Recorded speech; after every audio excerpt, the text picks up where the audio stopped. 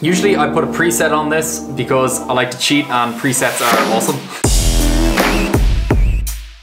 Hey, how's it going? Brian O'Donnell here, welcome back to another video. So today I've got a really cool photo shoot in mind, which will be really easy to recreate in your own homes and it'll have a really powerful look to the image.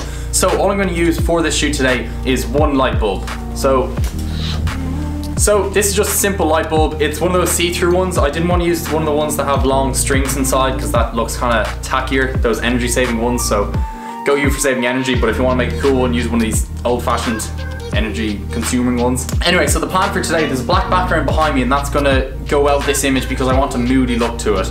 And basically I'm gonna have this light bulb attached to a string, hang it from above, and have loads of light bulbs all around the place hanging from strings above in different position. And then there's going to be one light bulb hanging about here or over here on this side, and I'm going to be touching this one. All the other light bulbs are going to be turned off, just hanging there, and the one I'm touching is going to be on with light shining out of it onto my face, so it's kind of got that powerful feel. If you imagine every one of them is turned off, apart from when I touch, which is lit up. So that's what we're gonna be doing today. I'm gonna show you exactly how to edit it once we get the pictures made. So let's go down, let's attach this to string, and let's get taking those photos.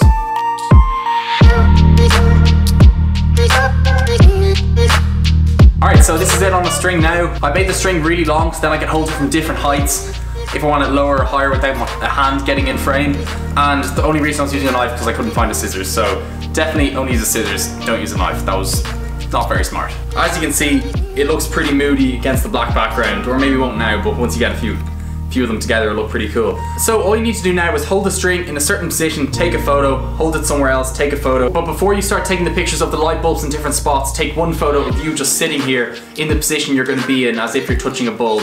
And what you need to do, you need to lock your focus on where I am right now because the bulb beside my face will be in focus because it's in the same focus plane. But if I have a bulb up here, it should be really blurry. As you can see now, it's blurry. But if you have autofocus on and it autofocuses to this, it'll be in focus. And if everything's in focus, it looks really weird and really Photoshop. So make sure, take a picture yourself, lock the focus, and then just put your light bulb all around the place, take loads of photos.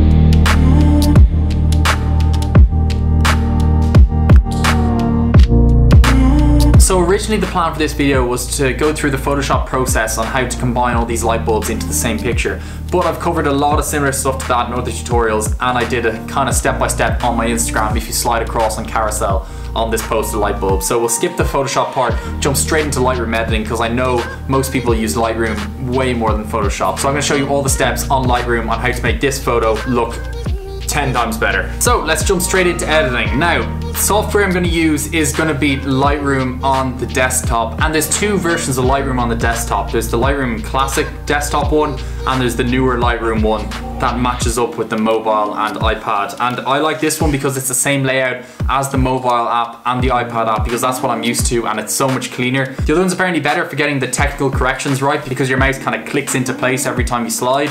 But I wait for this one. This one's way cleaner and way more easy to use. So Usually I put a preset on this because I like to cheat and presets are awesome.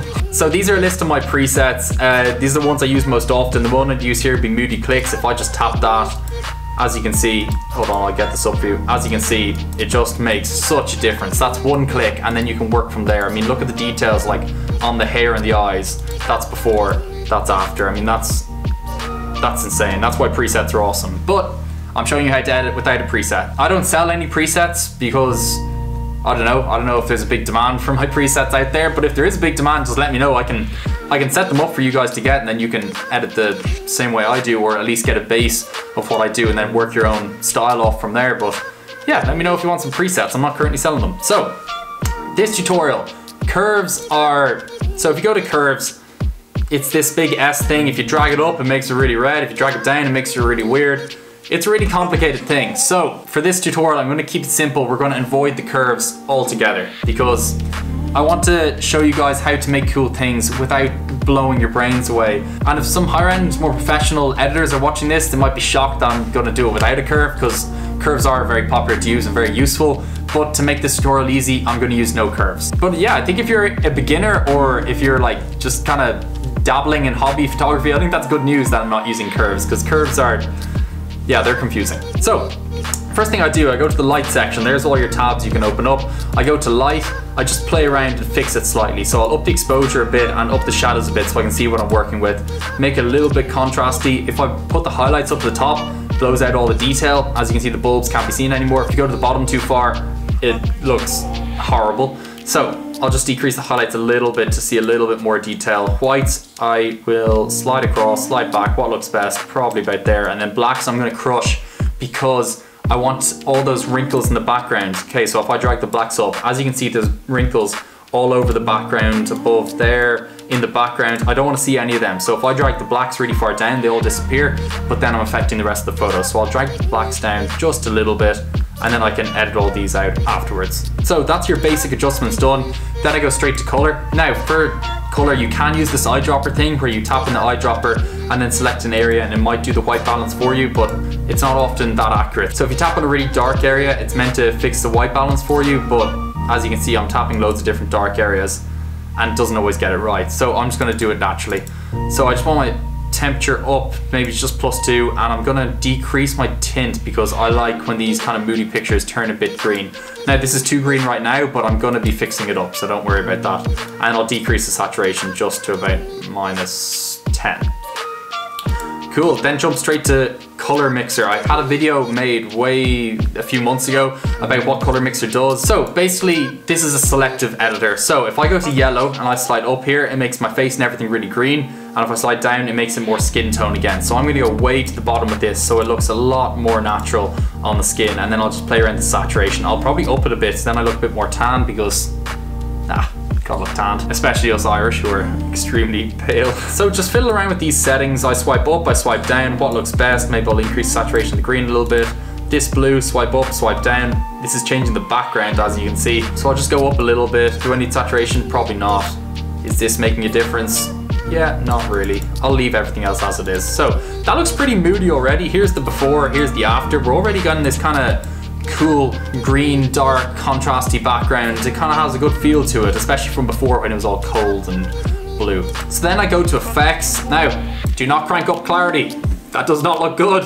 That is disgusting. Do not drag down clarity, because, ugh, God. Clarity, keep it within 10. If you go past 10, you're doing too much. So I'll probably do, I'll do 11. No, I'll do 10. And I'll up the texture a little bit. I'll actually make it less than 10. I'll make it about 6. Uh, vignette is good for moody photos. I always put them on just a small vignette. If you go this way, it makes them black. If it goes this way, it makes a white vignette. Looks like a school portrait. So I'm just gonna bring a vignette a little bit, and as you can see, it just darkens the edges ever so slightly. So that's all for effects. Detail, we won't need any of that in this picture. Optics, we won't need any of that. And geometry, everything looks pretty good there. So first I'm gonna crop it. So you go to this tool here, press original, and then press 4x5. This is the Instagram ratio. I'll make it a little bit smaller, and I'm gonna put my eyes on the third lines because that's where the most important part of your picture should lie. So let's see what that looks like. Yeah, it looks pretty good. I'm losing a bit. Maybe I'll make it a little bit bigger here and drag myself up a little bit. Yeah, I'm pretty happy with that. That looks pretty moody. It also focuses on me more as a subject. So now is the really cool part, which really gets your image looking moody. So press on linear gradient and all you do, you drag up from the corner which makes a linear gradient. Now all you do is scroll up to exposure and decrease the exposure of that corner. And as you can see, I'm blending in with the bottom, which is really cool. Now, if you want to apply these settings again and again, you can keep drawing linear gradients and it'll do the same settings over and over, but I really don't like doing that. So every time I do linear gradient, I just re-tap on it, draw a new linear gradient, go to exposure, lower a little bit. This could be going too far on the exposure, but I can always fix it up. Tap on a new linear gradient, go from the top left corner, and I kind of do all the corners like that. Now, as you can see, the wrinkles are still very much there. So all you have to do here, you go to the brush and make your brush kind of small and just brush over all the wrinkles. Now this is gonna be a really cool trick. So I'm just brushing over the wrinkles area. You can't see any changes happening now because I haven't made a setting to apply yet. But basically all I'm gonna do, I'm gonna draw over all the wrinkles. Then I go down to clarity, decrease the clarity and decrease the texture. Those wrinkles are blending in just a little bit more into the background now. Now repress on the brush tool, make it slightly bigger, and I'm gonna draw around everywhere. This time I'm gonna do my exposure down low before I start drawing so I can see what I'm doing. And now everywhere I draw, it's gonna darken. So you just, I don't want to darken myself, I just want to darken the background. So I'm just painting away, slowly just making the background darker. It's a really cool trick, this brush tool. It's also on the mobile and the iPad and I use it all the time. It's just so handy for quick edits. Now, behind my head there, I don't want to see that background. I want myself blending in. So I'll make a new brush tool. I'll lower the exposure of it quite a bit and I'll just brush by the back of my head and my shoulder. It's still blending in a little bit, so we'll go a little bit darker. That's pretty cool. And I'll get rid of the side of my arm.